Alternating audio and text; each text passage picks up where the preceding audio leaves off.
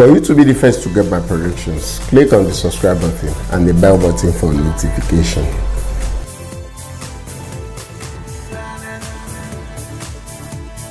It is Sunday, and of course, here are my four picks for today, Sunday. Okay, so we'll go quickly to the English Premiership, where Bournemouth will entertain Nottingham Forest. In that game, I'll go for both teams to score, and of course, Arsenal. Mm, we can say we can call this uh, big uh, Sunday in England. Arsenal will be entertaining Liverpool in that game, I can foresee a lot of goals, so I'll go for over 2.5 goals. Now we move to the Italian Serie A, where Napoli will entertain Verona. That game, I'll go for home to win that one. And finally, still in the Italian Serie A, it is Atalanta entertaining Lazio. In that one, I'll go for over 1.5 goals.